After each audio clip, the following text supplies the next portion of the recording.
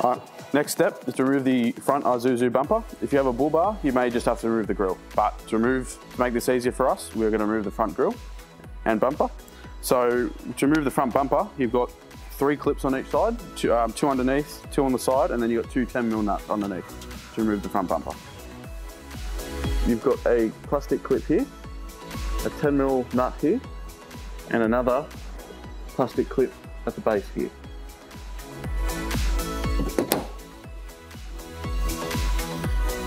So with these new Isuzu bumpers, the top clip may be difficult to um, get out. So we use a hook pick to go behind the clip and we twist up and we pop it off. Allowing you to access the intercooler.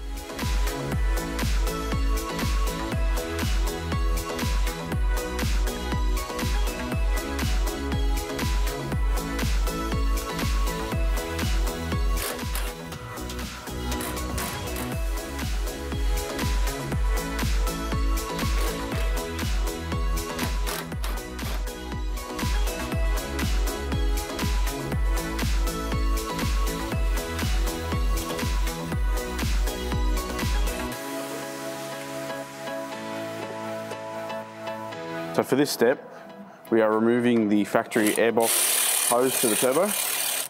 This just, you don't need to do this, but just allows us to get a better access point to the intercooler hose.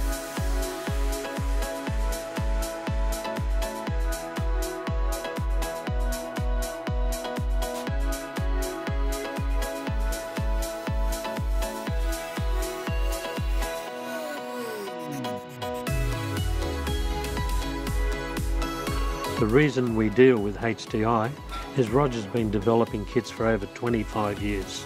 His knowledge and the use of his equipment outperforms any of the others in the market. Products that's used include reinforced silicone hoses with Nomex coating on the inside so this resists oil. Performance and quality is guaranteed.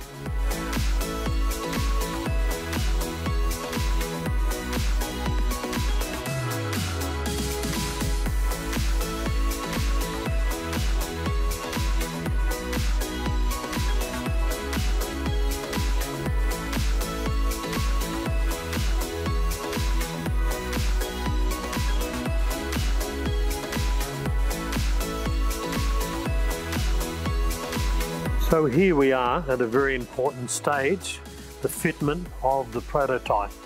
As you can see, it fits in very, very neatly, quite easy to install, and the design has made it a perfect fit.